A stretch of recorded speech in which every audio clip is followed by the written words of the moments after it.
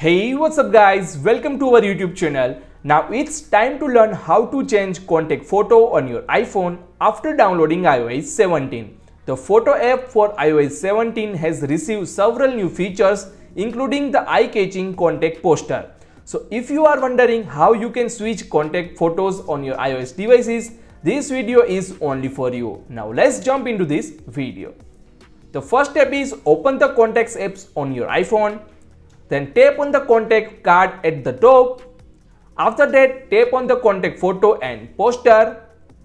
Then tap on the edit button at the bottom of your current contact poster. Next, tap on the customize button at the bottom. Next step, choose contact photo in the pop-up menu.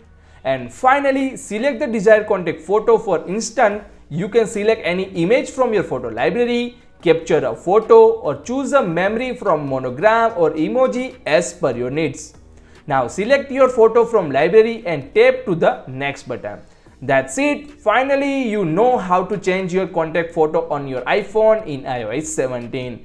If you found this video is helpful then hit the like button and smash the subscribe button to watch more iOS 17 videos. So I hope you enjoyed this video and I will see you in the next video with more such a handy iPhone tips and tricks. Still that stay and safe.